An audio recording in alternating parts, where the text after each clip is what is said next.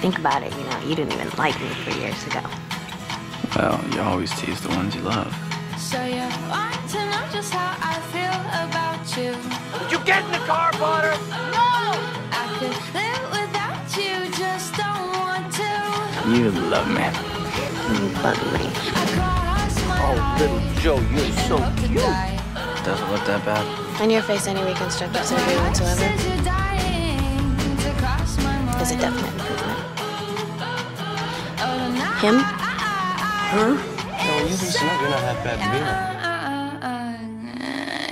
After all, you are quite the skittish kid. It's not to worry. It's part of your charm.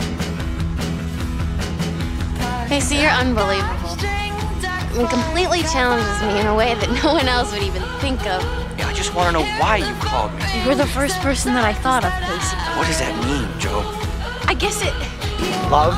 Is that what this is? You know you love someone when you can spend the entire night just by the fire watching it. I think I'm in love with you. You think or you know? No.